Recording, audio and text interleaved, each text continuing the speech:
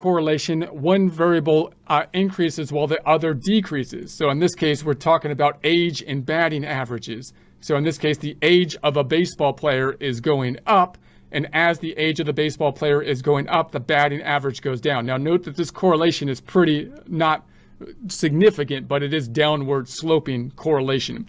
Also note that we probably would think about this the other way around. If I was making a hypothesis, I would probably put the X as the age, indicating where we normally put the independent variable, which is causing the batting averages to go down. That would be my hypothesis that I would be putting in my head. But if I reverse these two this way, we would still end up with a negative correlation. So whichever variable we put on either axis, if there's a negative correlation, it'll still be negative. And if it's a positive correlation, it'll still be positive. But by tradition, we'll typically put the independent or what we think is the causal factor on the X.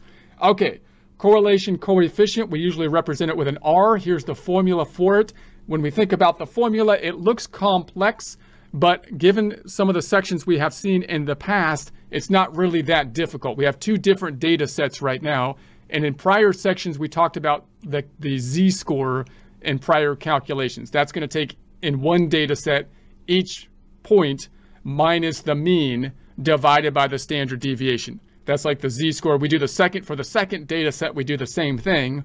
Each point minus its mean divided by its standard de deviation for a sample. And then we divide by n, which is the count of data sets that we have. In this case, n minus one with that added factor we typically have for like sample calculations that we've seen uh, in prior presentations. So like what's this mathematical calculation going to do? It's going to give us a range from negative one to plus one. So when we think about this correlation, we saw it pictorially uh, in the prior presentation. We can also represent it mathematically with this calculation giving us a result from negative one to positive one. Now, if it was exactly negative one, which isn't likely to happen most of the time, but if it was in that extreme example, it indicates a perfect negative correlation. So we'll do an example of this just to show the extreme when we do our practice problems. And one example would be, say, the distance traveled versus the distance remaining. So if you're going on a trip that is 100 miles and you travel 20 miles, then it would go from 100 down to 80, right? And if you went to 40 miles that you traveled, then the distance that's remaining would be 60 right? And if you went uh, 60 miles, the distance remaining would be 40. And so you can see how you have that negative kind of correlation. Now, now in that case, you would again think of the distance traveled normally as the independent variable, but you, you could flip them. You could think of the distance remaining and, and say, well, uh, and, and, and look at it that, you know, look at it that way, you would still get a downward sloping line. But obviously in this case, if we were mapping this out, we would probably think the thing that we are doing is traveling, and that's causing the distance remaining uh, to be dependent upon that. So uh, one indicates a perfect positive correlation. So now we have them going up. In this case, uh, we're, we're comparing feet and inches. Any kind of conversion will have a perfect kind of positive correlation. So obviously, if we said, for example, that we had one uh, foot uh, is that a one foot would be 12 inches, right? So if we went up one foot, we'd have 12 inches. If we went up two feet, we'd have around 24 inches. So this is just showing a conversion. Now on this one, note that you don't really know whether or not you should put the feet or or the inches on the X or Y. Is one causing the other one? Not really. It's just a it's just a conversion, right? We're just we're just measuring the lengths using different scales. So this is showing showing a correlation, but it's hard to know if there is, is there a cause and effect relation. No, we're just kind of defining the lengths, you know, differently using different units, kind of. So, and then a zero means no linear correlation. So in this case, we have a bunch of data dots here, but when we draw a trend line between them, it's almost perfectly flat. So a perfectly flat trend line would indicate that there's not a correlation between them.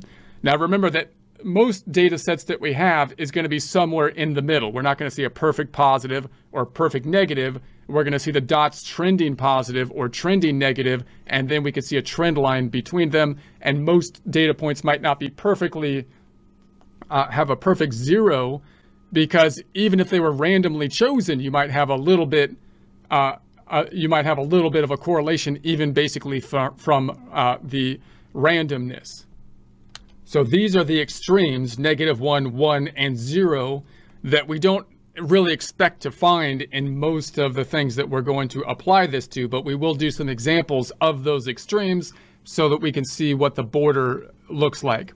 So this is something that would be more likely that we would see, something like this. This is with heights, heights and weights of individuals. So in this case, if I was thinking about heights and weights of people, for example, measured in inches and pounds, then you would think that the height, I would hypothesize that if someone is taller, that would tend towards a higher weight. That would be my hypothesis, right? I would think if there's a cause and effect kind of relationship, taller people will tend to be heavier on in general.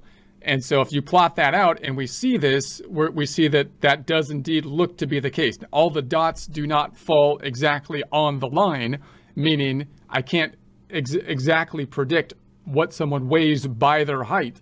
But it is the case that if someone is taller, I would tend to think that they're going to be weighing more than if they're shorter. So, but that's not always the case, right? We could have somebody that's like, if this is measured in uh, inches, so 63 inches, 63 divided by 12 would be uh, 5.25 feet and and they could be like 200 pounds or 180 pounds, right? That that could happen because you could have a very heavy, shorter individual. They would be kind of an outlier uh, on the trend line, right? But the general the general line is going to go like this. So it's not going to give us a perfect.